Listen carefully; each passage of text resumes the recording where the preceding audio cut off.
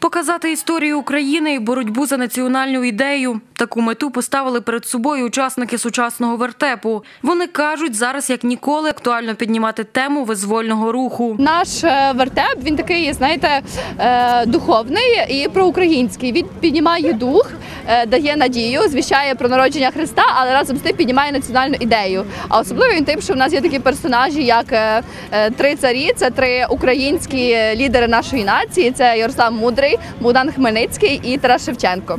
І вони теж сьогодні звернуться з певними словами до наших е, глядачів, слухачів, хто буде дивитися наш вертеп. Окрім традиційних для вертепного дійства героїв, у виставі були й незвичні: циганка, київський князь Ярослав Мудрий, гетьман Богдан Хмельницький і кобзар Тарас Шевченко. Я радію, що я похожа на циганку сьогодні. Моя роль циганка.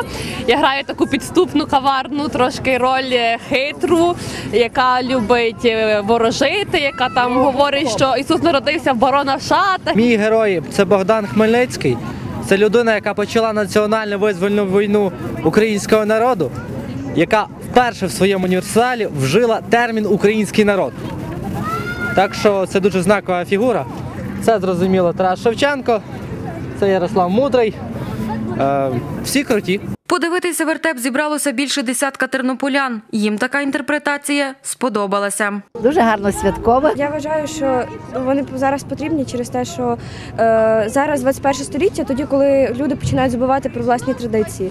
І саме про це треба наразі нагадати. Взагалі чудова вистава і, скажімо так, людям пізнавальна, людям варто знати, як було людство починалася історія. Дітям цікаво. Надалі учасники вертепу планують завітати з театральним дійством в Одесу. Сподіваються, що їх там зустрінуть з подивом і цікавістю. Богдана Сарабун, Оксана Галіяш, Вісті ТТБ.